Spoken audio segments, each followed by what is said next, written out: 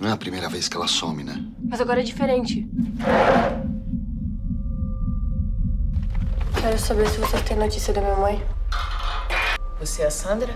Uhum. Tô sem dinheiro. Sabe ligar não? Quer arrombar a porta da casa dos outros? O que você tá fazendo aqui? Boa. Pra sentar aí.